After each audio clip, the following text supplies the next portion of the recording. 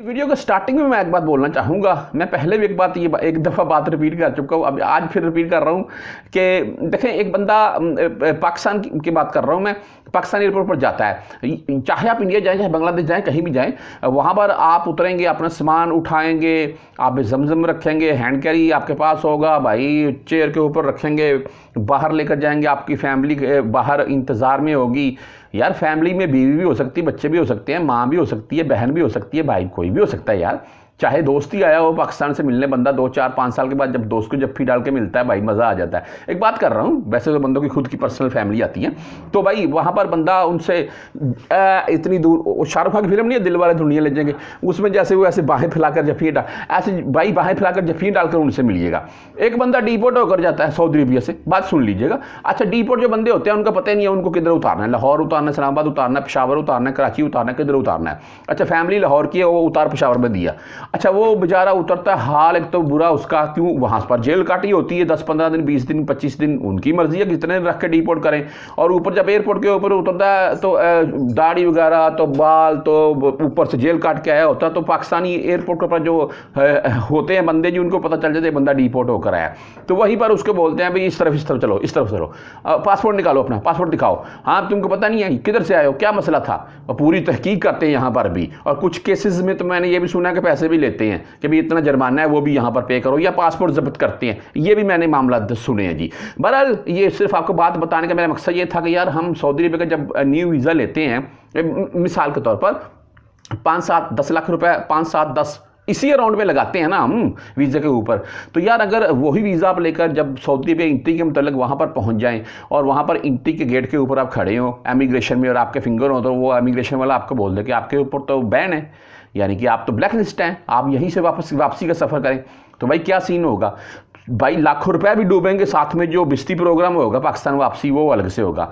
तो यार ऐसे तमाम मसाइल के लिए मैं आपको बोलता हूँ कि अपना मरहल मतार पेपर इस वीडियो में आपको डिटेल से बताया। तो तमाम भाई समझ लें, अगर आपने खुद निकलवाना है, जो भी मामला है व्हाट्सअप नंबर आपको दिखा रहा हूँ मैं, वो आपकी मर्ज़ी है, वो जैसे आपको बेस्ट लगता है वीडियो आपको डिटेल से बता देता हूँ। बसमीम अल्लाम मैं अभी एक, ये पासपोर्ट देख रहा था भाई का। आपको यहाँ पर पिक्चर भी दिखा देता हूँ मैं साथ में।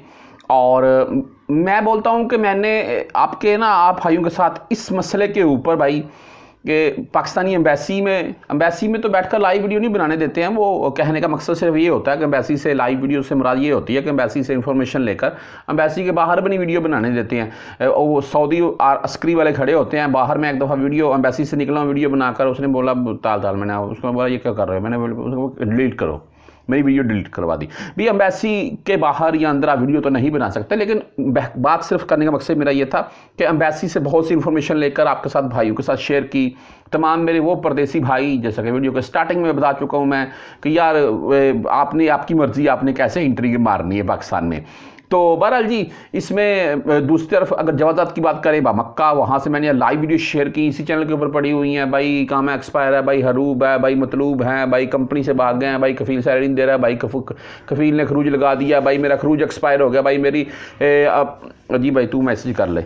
अच्छा ये मेरा खरूज एक्सपायर हो गया, भाई मैं, यानी कि मैं कफील से जान छुड़वा रहा हूँ, जान नहीं मेरी छोड़ रहा है, ना खरूज लगा रहा है, ना सैलरी दे रहा है टाइम से, ना छुट्टी लगा रहा है, ना ही कामें लगा रहा है।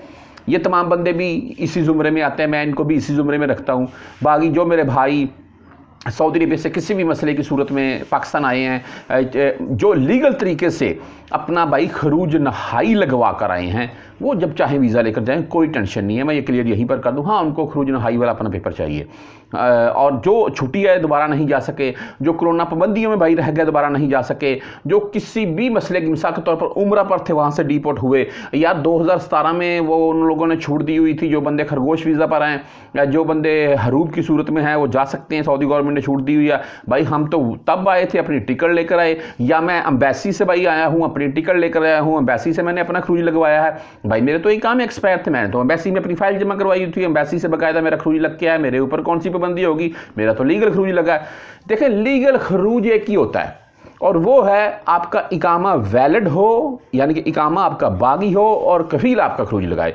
वो एक खरूज बाई लीगल खरूज है। ठीक है जी? इसके अलावा जितने भी खरूज हैं, जितने भी मसले की सूरत में आप सऊदी अरबिया से अपनी टिकट लेकर, चाहे डीपोर्ट होकर, चाहे जैसे भी पाकिस्तान, इंडिया, बांग्लादेश, कहीं के भी आप हैं, आप वापस जाते हैं तो उस सूरत में भाई आपको, आप कन्फर्म है ही नहीं। क्या कन्फर्म नहीं मैं आपको बताता हूँ, मैं जो भाई सऊदी में बैठे हुए जैसे कि मैंने मसले उनके गनवा दिए हरूब मतलूब, इकाम एक्सपायर, कंपनी से भागे हुए, बदून, कफील, कंपनी जान नहीं छोड़ रही है, कफील जान नहीं छोड़ रहा है। वो भाई भी सभी इसी जुमरे में आते हैं। क्या भाई देखें एक मिसाल के तौर पर मैं सोच लेता हूँ, जी, मैंने भाई, मैं पाकिस्तान जा रहा हूँ, यार, मैंने काम ही नहीं करना है इसके पास। ये तो ना सैलरी दे रहा टाइम से ये है, वो। तो भाई, आप कैसे पाकिस्तान जाएँगे? जब तक आपका ये काम है नहीं वो लगाएगा आप सफारत जाएँगे एम्बेसी जाएँगे ना? या बाहर की शूरते को पकड़ाई देंगे, या डीपोर्ट हो जाएँगे, अब छुट्टा आपको खुद पकड़ लेगा उस सूरत में। देखें ऐसी सूरतों में भाई आप जब पाकिस्तान आएँगे तो आप दोबारा, यानी कि उम्र पर, मैं वर्क वीज़े की तो चलो बात छोड़ दें, आप दोबारा क्या उम्र पर जा सकते हैं? देखें, इसके लिए भी आपको लाजम है। आप वर्क वीज़ा पर जा सकते हैं, इसके लिए भी आपको मतार, यानी कि मरहल पेपर लाजम है।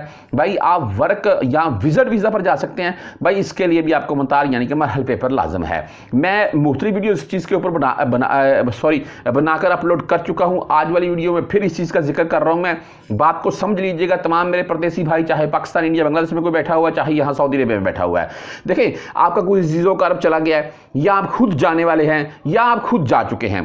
देखिए आपने सबसे पहले सऊदी अरेबिया का वर्क वीज़ा, विज़िट वीज़ा, या उम्र वीज़ा लेने से पहले, या वहाँ से अपने आप को खुद को डीपोर्ट करवाने से पहले, मेरी बात को समझ लीजिएगा, अपना मतार, यानी कि मरहल पेपर, ज़रूर चेक करवाना है। तरीकाकार आपको बता देता हूँ मैं, बाकी भाइयों की मर्ज़ी है, यार आपने व्हाट्सअप नंबर आपको स्टार्टिंग में दिखा चुका हूँ मैं, यहाँ पर फिर दिखा रहा हूँ मैं।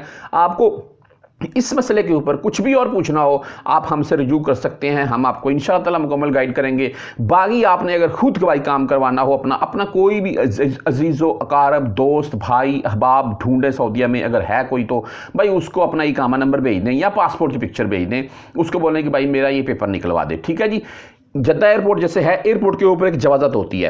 अभी कुछ भाई बोलेंगे, भाई, एयरपोर्ट के ऊपर जवाजत? हाँ जी, एयरपोर्ट के ऊपर जवाजत होती है। अक्सर बंदों की भाई नकल मालूम नहीं हुई होती है, आपको पता हो, एयरपोर्ट के ऊपर पता जाकर चलता है तो वो फिर वहीं एयरपोर्ट से नकल मालूम उनकी हो जाती है, एक हज़ार लगता है। तो वो एयरपोर्ट के ऊपर भी जवाजत होती है, वहाँ से आपका पेपर निकलेगा, या कुछ सऊदी, या मंदूब आपका हो, और वो आपका इकामा नंबर लेकर जाए, और वो फिर भाई किसी सरकारी अदारे से आपका पेपर निकलवा सकता है। बशर्ते कि आपने जिस किसी भी भाई से निकलवाना है, बस ये मैं आपको बोलूँगा, ये कन्फर्म ज़रूर कीजिएगा भाई कि मैं अभी दोबारा सऊदी अरबिया जा सकता हूँ या नहीं जा सकता, या मुमकिन कब तक जा सकता हूँ, ठीक है जी? अगर भाई आपने हमसे निकलवाना है व्हाट्सअप नंबर आपको दिखा चुका हूँ मैं, आप हमसे भी निकलवा सकते हैं। साथ में इन ताला आपको पूरी डिटेल बताई जाएगी भाई, आप अभी जा सकते हैं या नहीं जा सकते, या मुमकिन कब तक सऊदी अरबिया जा सकते हैं, ठीक है जी? आप कहीं से भी निकलवा लें, मैंने आपको क्लियर बता दिया, सारा ड्रेस बता दिया है, लेकिन तमाम मेरे वो भाई, आपने जैसे कि मैं वीडियो को स्टार्टिंग में बात कर चुका हूँ, फिर रिपीट कर रहा हूँ यार लाखों रुपये लगाने हैं हमने वीज़े के ऊपर, उससे बेहतर नहीं है, चंद हज़ार लगाकर अपना स्टेटस तो देख लें कि भाई मैं दोबारा एंट्री मार भी सकता हूँ, नहीं। ऐसा ना हो कि खुदा न खास्ता कि भाई आपके ऊपर बैन हो और आप पाँच सात लाख रुपये वीज़े के ऊपर लगा दें और वहाँ एयरपोर्ट के ऊपर वो आपको रोक लें, फिर भाई मुश्किल। फिर मुश्किल क्या? भाई सारे के सारे पैसे डूब जाएँगे, मसला ये बन जाएगा।